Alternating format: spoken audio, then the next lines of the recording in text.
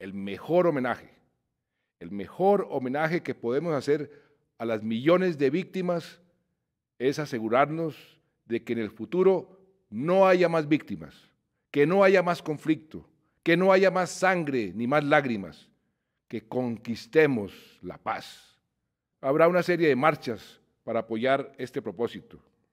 Yo personalmente me haré presente en la mañana en el monumento a los héroes caídos en acción y marcharé hasta el Centro de Memoria Histórica y por la tarde estaré en Medellín en un evento en homenaje a las víctimas.